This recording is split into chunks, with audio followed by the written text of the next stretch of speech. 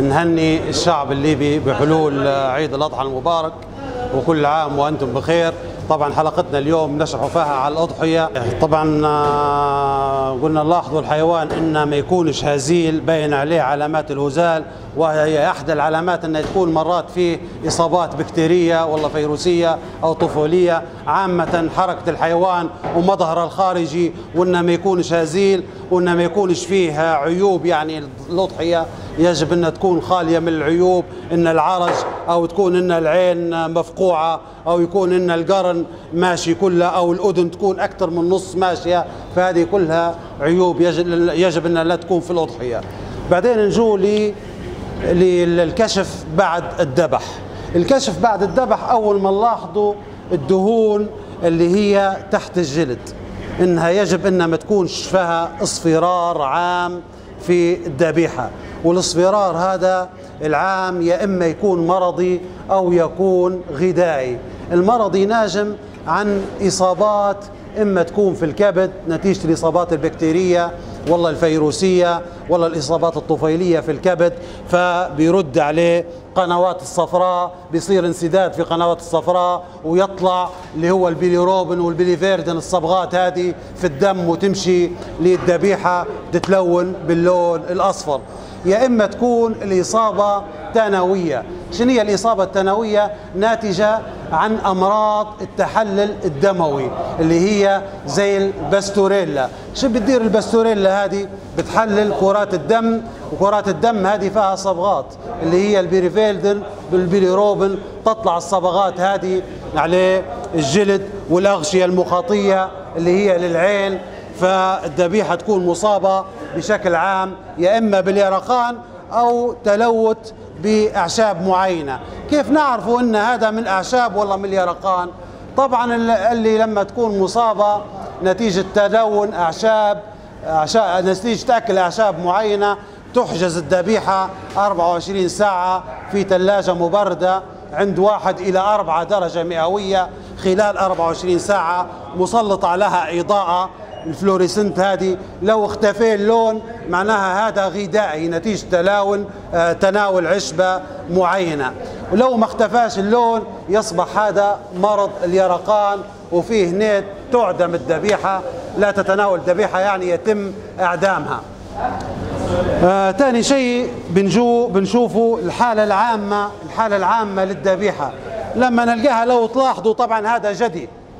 هذا جدي لكن لين أعضاء ما يبان ضعيف هنا يعطيني مؤشر ربما يكون فيه علامة مرضية اللي هي تنعكس حتى في الأعشاء الأحشاء الداخلية. لما نجو نشوف الكبد والرية من نلقوش فيها آفات تغيرات في الملمس ما فيش تغيرات يعني دارنات مثل دارنات السل نلقاها حبيبات زي حبيبات العدس بيضاء اللون هذا مرض السل. كذلك في الرية مرات نلقى حبيبات ومادة صديدية. حبيبات سلية بيضاء اللون. هذا يعطينا انطباع على أنه موجود في مرض السل الموجود عموما أي آفة في الرية وفي الطحال وفي وفي الكبد نلقاها منتشرة في جميع الاحشاء الداخلية. هنا تعدم الذبيحة علاش؟ لأن صار فيه خش الفيروس ولا البكتيريا للدم وصار فيه حمى وصار فيه فساد للاحشاء الداخلية. وهنا حتى عملية النزف ما تتمش بشكل صحيح وعملية التيبس الرمي اللي هي ما تتمش بشكل صحيح. لو ما تمش النزف بشكل صحيح حيزيد العد البكتيري داخل الذبيحه وكذلك عملية التيبس الرمي لو ما اللي هو ال rigor mortis لو ما تمتش بالشكل الصحيح هتصبح هنا الوسط الوسط غير حامضي. لما يبدأ الوسط قلوي بيسرع في نمو البكتيريا لكن أهمية التيبس الرمي أنه يعطي وسط حامضي ضعيف لا يسمح بنمو البكتيريا. وهنا لو ما تمش النزف كويس وعملية التيبس الرمي ما تمتش كويس تعدم الذبيحة بالإضافة إلى الهزال.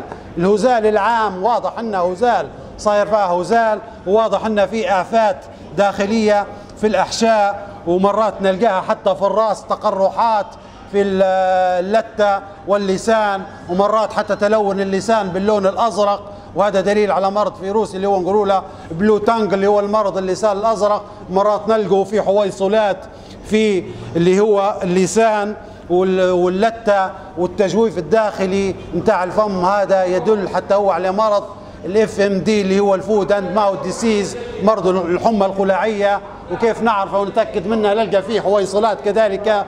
في القوائم وهذا شيء مرض فيروسي ومرض مشترك ينتقل الإنسان في الحالة هذه تذبح الذبيحه آه، تعدم الذبيحه ونلقوا حتى انعكاس للمرض هذا نلقوا داخل الأحشاء بالإضافة إلى الآفات الموجودة في الرأس تجويف الفم بالإضافة إلى القوائم نلقوا انعكاس حتى على الكبد والرية والطحال نلقوا فيه انتفاقات نلقوا فيه مرات تقرحات صديدية. هذا إلى جانب الهزال العام في الذبيحه هذا تعدم الذبيحه وغير صالحة للاستهلاك الآدمي. طبعا أعطينا لمحة عامة عليه كيفية اختيار الذبيحه قبل عملية الذبح وبعد الذبح كيف نكشف عليها.